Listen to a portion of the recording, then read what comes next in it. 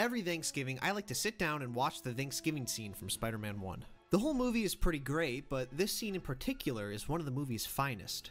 Something strange happened in my most recent viewing, however. Something so strange it's taken me a few months to really process it. A question came to my head, a question I haven't really been able to shake.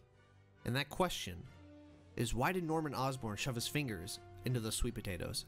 Now, when I explain the answer to you, you're gonna have a much deeper appreciation for this movie, as this scene sets the stage for the famous climactic battle between Tobey and Norman. Let's do a quick rundown of the scene first so you can get a look into my thought process. The scene opens. We see Norman Green looking awfully sweaty in the elevator. Harry's picking up some newspapers off the ground, which is kind of last minute, but that's not really the point. And then he yells at Mary Jane for goofing around.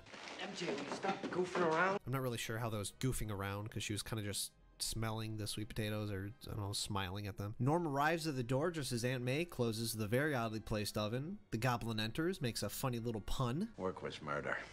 and gives Aunt May a wrapped present, which he immediately spoils by telling her it's a fruitcake. Some bullshit with Peter and I don't know, cranberry sauce, not important. Peter arrives, makes a very distasteful joke. Sorry I'm late. It's a jungle out there. I had to beat an old lady with a stick to get these cranberries. Let's leave the uh, comedy to Sam Norman Bridges over here, huh, Pete? Kiss that lingers a bit too long, and then everyone sits. And this, this is when it happens. Oh, it looks delicious. Norman? Oh, look at that. He just digs in there. Really impulsively, too, right? Well, that's what you might think. But look at his eyes. Those piercing, beautiful eyes. He looks over. He sees something in that casserole. But what? What would drive a man to do such a thing? We've seen Green Norman do some pretty terrible things in this movie so far, but this? Can we really chalk this up to the Joblin genome? The Goblin genome? I really don't think we can, so I started thinking, what could he have seen?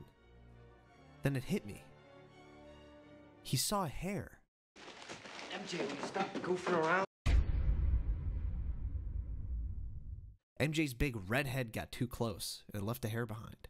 Harry, being the daddy's boy he is, knows how much his father hates hair in his food, so he yells at MJ to stop goofing around. The real reason Normie is so sweaty in that elevator is because he's anxious. He hates eating food made by other people because who knows what kind of hair could have fallen in there. Two women, one old and brittle, hair falling all over the place. He knew the risks, and he was anxious. He saw the hair and was going to politely and quietly remove it when Aunt May slaps his hand. Hear that goblin theme start playing right when she slaps his hand. She awoke the goblin inside.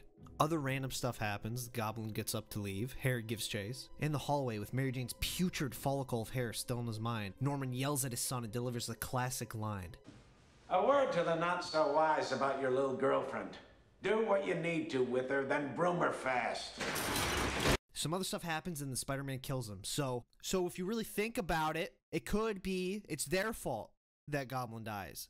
It's it it we got he gets Peter he's